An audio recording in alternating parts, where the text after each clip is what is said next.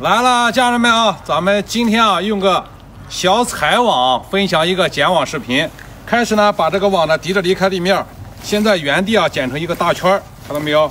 啊，要非常有规律的啊，要先在原地剪成一个圈，圈呢要稍微大一点啊。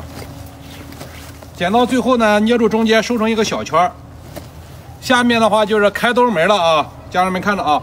离地三十公分，并排拿起两个兜。这个时候呢，网坠是垂直的，放到左手大拇指的位置给它压住。压住以后呢，开始剪。剪的时候呢，也是离地三十公分和自己膝盖位置差不多的时候，把这个网线全部捏在虎口里边，呈四十五度倾斜角，要剪一点倾斜角的上面啊，这样的话容易撒开。剪到最后了，剩下一到两个兜的时候，用左手的中指啊，离地二十公分高起一个兜，放在左手的内侧给它捏住。